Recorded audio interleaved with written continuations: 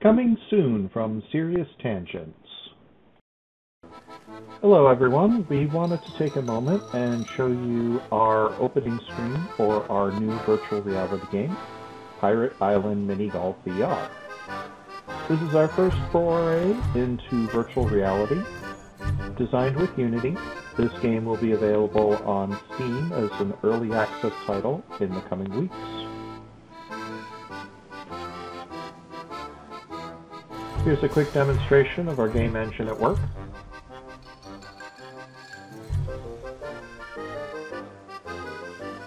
The ball can only be hit when the trigger is held down, preventing accidental hits. And the sensitivity of the ball's response to the club can be modified depending on your personal playstyle. We'll be uploading further work in progress videos as time moves forward towards our early release. Thank you very much for watching. Have a great day.